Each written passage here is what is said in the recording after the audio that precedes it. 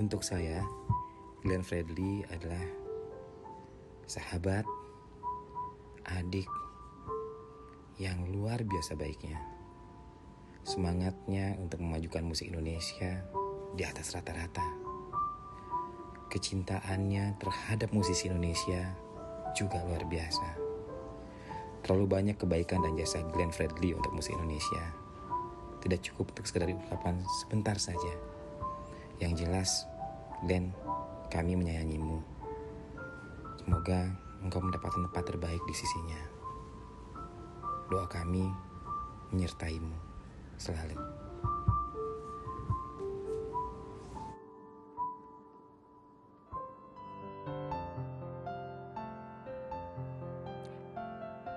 Pemirsa kembali bersama Prime Show with Ira Kusno dan malam ini kita masih bicara tentang atau mengenang kembali sosok Glenn Fredly, musisi andal yang juga terkenal karena aksi-aksi sosialnya dan juga peduli terhadap isu keberagaman. Dan kalau tadi sudah ada Mbak Ute, kali ini yang bergabung dengan saya dan Ronald adalah sahabat Glenn yang lain yaitu Tulus dan Yofi Widianto nanti akan menyusul. Selamat malam Tulus. Selamat malam. Iya, uh, Tulus, apakah uh, terdengar suara saya? Saya bersama Ronald di sini. Hai Tulus. Terdengar, terdengar. Halo, apa kabar? Iya, uh, Tulus saat berkolaborasi di lagu Adu Rayu itu Februari 2019, betul ya? Apakah sudah terlihat bahwa Glenn itu kurang sehat, Tulus? Oh, Kak, uh, Kak Glenn itu, Kak Glenn itu uh, pribadi yang sangat positif. Uh, nggak pernah ngeluh, nggak pernah, saya nggak pernah ngelihat Kak Glenn nggak fit ya.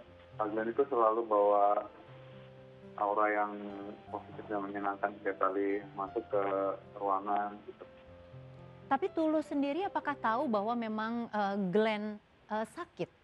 Sudah sakit gitu sebelumnya? Saya nggak, saya nggak mengetahui. Saya nggak mengetahui. Ya. Tulus sendiri kapan sih tepatnya mendengar kabar Kak Glenn ini meninggal dunia? Uh, kemarin malam, jadi saya dapat telepon dan uh, mendadak sekali. Nah, saya, saya bahkan ketika terima telepon itu juga bingung gitu penyebabnya uh, kenapa dan di situ saya baru mengetahui kalau ternyata Kak Glenn sakit. Oke, ini sebagai seorang adik kan bilangnya Kak Glenn, ya.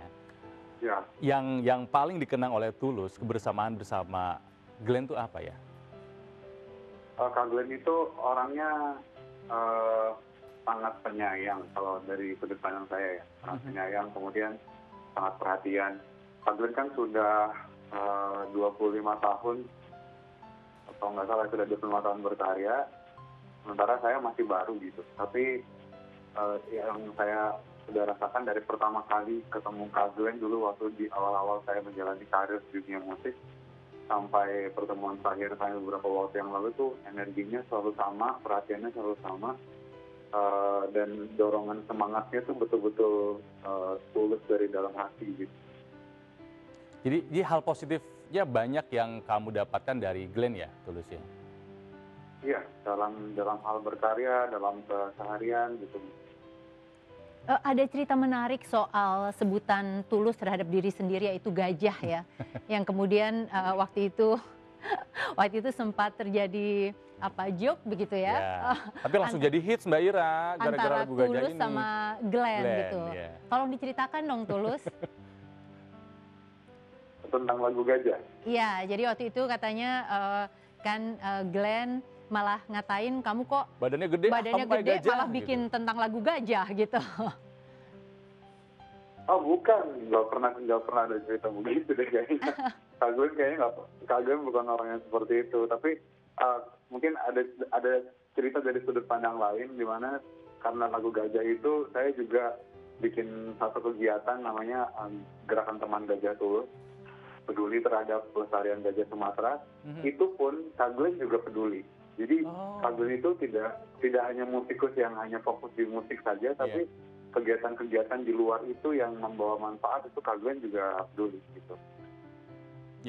banyak aktivi apa aktif eh, aktivitas sosial kemanusiaan keberagaman Glenn kayaknya selalu hadir ya eh, waktu bikin film eh, Cahaya dari Timur Beta Maluku Itu juga beliau survei di sana bagaimana film itu punya pesan yang sangat positif menyatukan kembali Ambon yang waktu itu kan pernah panas bergejolak Mbak Ira. Jadi pesan-pesannya yang dibawa oleh Glenn ini dalam berbagai medianya selalu hal-hal yang positif yang kebalik. Nah, uh, sekarang kalau kembali lagi ke Tulus ya. Ini kan adu rayu uh, dari lagu sebenarnya rencananya mau diteruskan menjadi sebuah film gitu ya. Betul ya Tulus ya? Jadi salah satu jadi gini kolaborasi saya bersama Mas Yofi dan Kak Glenn itu bisa dibilang kolaborasi yang sangat spontan sekali. Jadi kita hanya kepikiran mau bikin satu kolaborasi, bikin karya lagu dan ya sudah jadinya lagu. Lalu kemudian uh, singkat cerita setelah lagunya dipublikasikan, dapat apresiasi, muncullah ide-ide yang terus berkembang gitu. Dan hmm. salah satu idenya itu adalah mungkin gak ya kalau misalnya lagu ini kita kembangkan menjadi sebuah film dan Kak Glenn adalah salah satu yang paling semangat untuk ini uh. itu gitu. Ya, uh, ini sebelum kita lanjut dengan Tulus sambil menunggu dengan Yofi, ini juga belum tersambung ya. Ronald dengan dengan Yofi. Ini ada satu challenge selama wabah COVID ini ada tantangan untuk cuci tangan. Ya, betul. Dan uh, Glenn menerima tantangan itu dari Elo. Kita lihat dulu ini potongannya untuk videonya.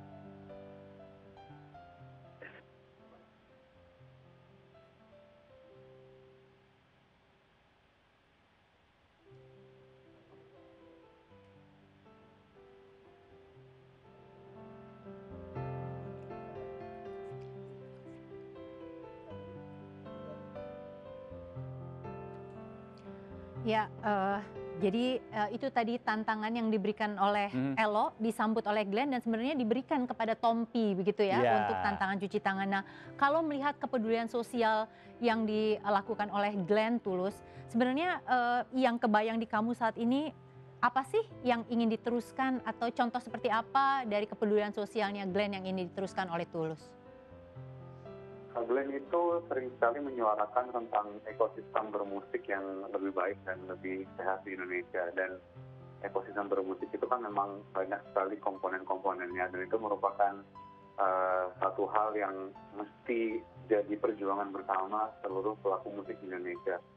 Ya mungkin uh, harapan terbesar saya karena saya juga sedikit banyak mengetahui itu adalah salah, salah satu mimpi terbesarnya beliau mudah-mudahan setelah uh, berpulangnya Kak Glenn, perjuangan itu akan terus diteruskan oleh kami-kami. Perjuangan untuk uh, masa depan musik Indonesia yang lebih baik akan uh, diteruskan. Iya. Yeah. Terima kasih Tulus sudah bergabung bersama kami malam hari ini. Yeah.